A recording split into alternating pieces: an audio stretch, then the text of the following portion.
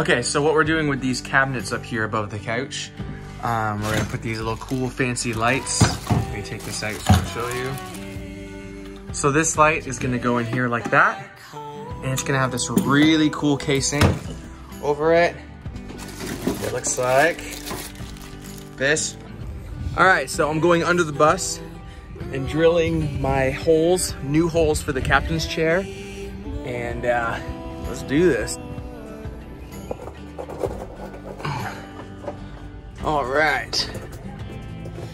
So there are the old holes. We're gonna drill new ones right beside it.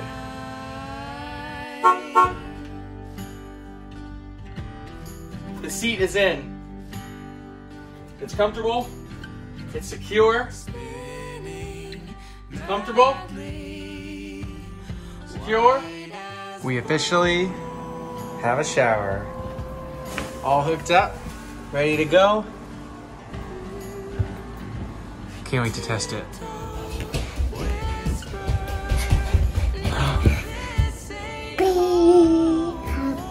Good job.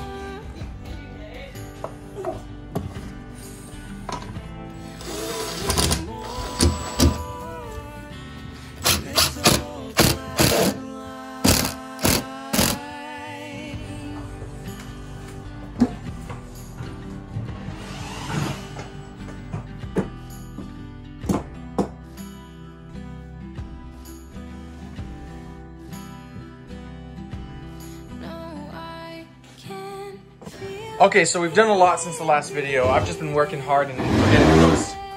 But we have our cabinets starting to come in. We're gonna be able to put our shoes in here. We're gonna build some cubby holes or something. But here is gonna be where we hang our keys and such. Um, look, it's so beautiful up here. Um, so we got our light fixtures in already. I believe we already showed those, but here's another one over here with the light bulb already in it. So all ready to go. Over here, our stove is raised. So getting ready for that. We got my mom in here working on some doors. Look at us, working hard. And we've already put up some more walls. And then another cool light fixture. It's coming. All right, so now we are wiring our brown receptacles, which is our solar and battery receptacles.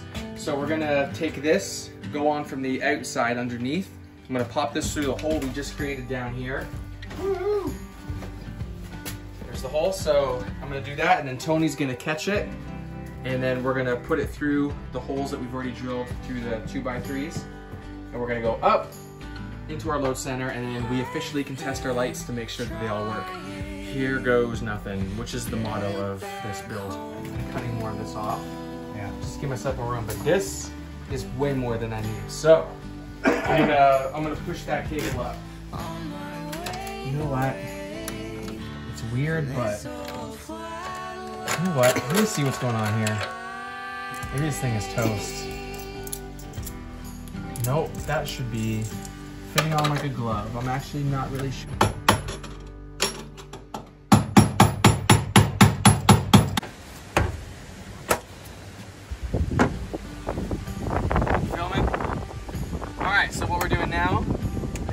Check to make sure that I wired all the lights correctly because if I didn't, that's gonna suck poopies. So I'm gonna have to like go in there and like change everything. My mom's laughing because I said suck poopies. Plug this adapter in.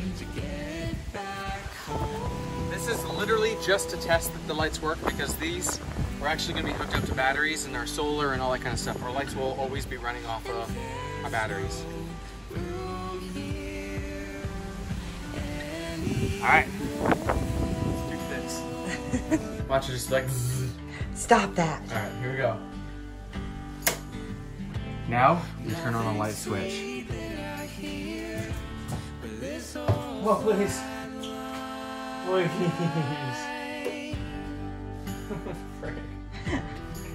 nope. Fail. Ready? Here it goes. Yes! Yay! Look how pretty they are! You did it! Let's keep going. Let's keep going. There's, there's more. You did it! right. Next, Ah, yay! bathroom.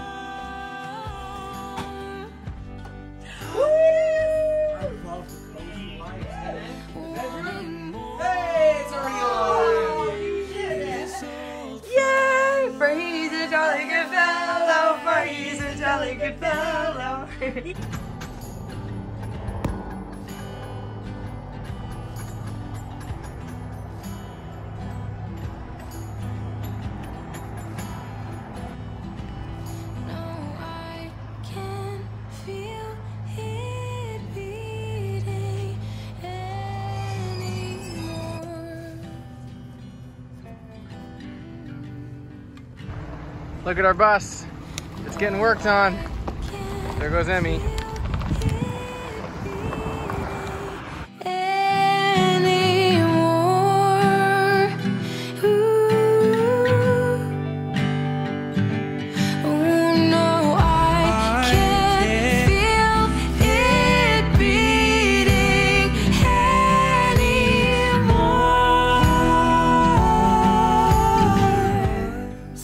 About two or three weeks left of being in Missouri, we gotta head out. There's so much to do on the bus. It's, it's uh, not overwhelming, just just a lot, you know. So your first reaction or your first inclination is that a word? Uh, is to get it done as quickly as you possibly can. But the whole point of this whole bus life is to really experience and enjoy things more if that makes any sense. So for me, I think it's just as important to wake up and go for a unicycle ride, even if you have a lot of work to do. Um, reading this book is just talking about the importance of exercise eating healthy, and um, even if you don't have time to do it, you make time to do it because it's more important than anything else. So that's what I'm doing. my way away from this old flat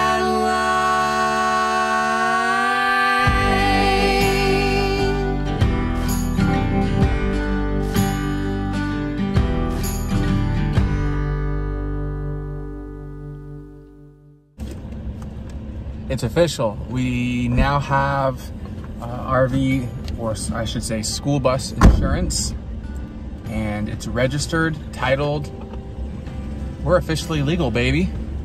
Oh. Basically you build a frame you know so that there's good support for it and then you measure your wood out So it is time now to test the pipes, um, to test our plumbing, to make sure that it all works. Because our plan is we're going to be closing off the tub area with the bench all the way around it so that water only drips into the tub, nowhere else. So to do that though, before I start closing off areas, I want to make sure that those pipes there are not leaking and that we have a great system here. So um, I think it's time to just go for it and make sure there's no leaks in any of our pipes. Here we go. And we're gonna fill up the tank first before we start actually pumping the water through the, uh, the sinks and stuff like that. So I'm kind of nervous because if this doesn't work, that means we have a full day of fixing pipes instead of doing other things we wanna do. So let's see what happens.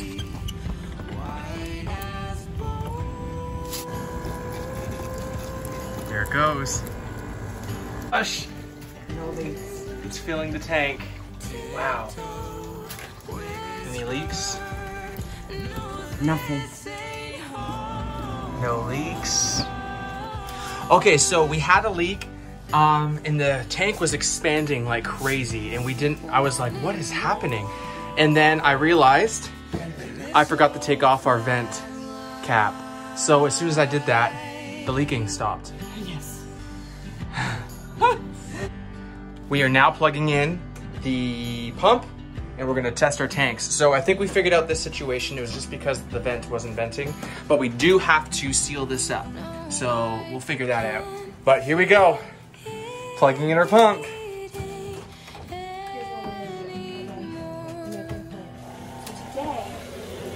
Okay, I'm gonna make sure all the sinks are off.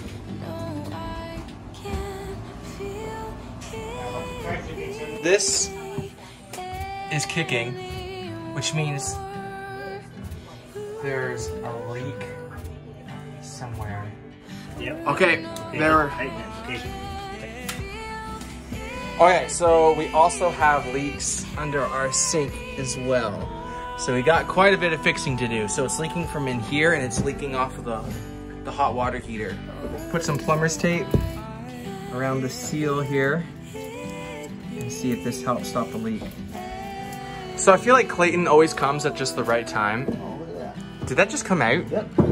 Interesting. That's So we're gonna put some plumber's tape on all of these fixins.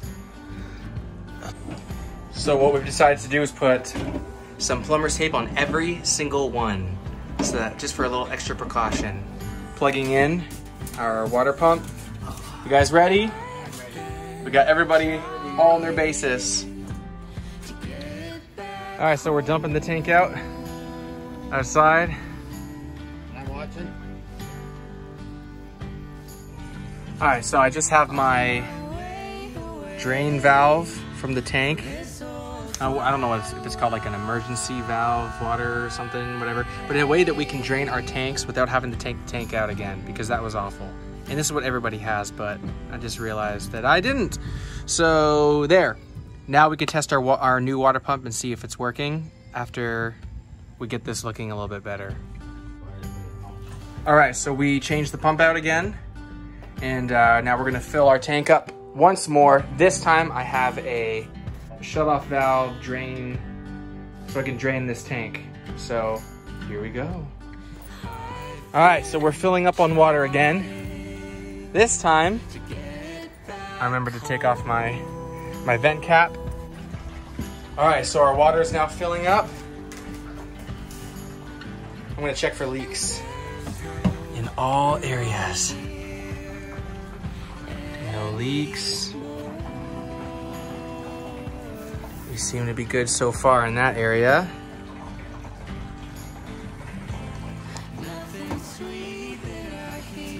Now let's go back here.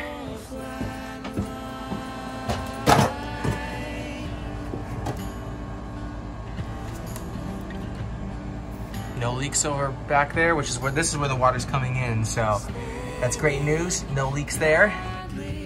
All right, here's the drain valve. Let's see if it works. All right, so that works. So I can't figure out why this isn't working.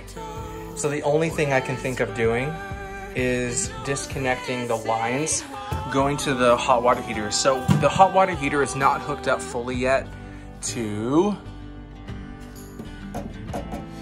propane. So because it's not hooked up to propane, I'm wondering if that's, I don't know why that would be an issue, why that would have anything to do with it, but it's the only thing I can think of doing is bypassing the water heater and seeing if that's the problem.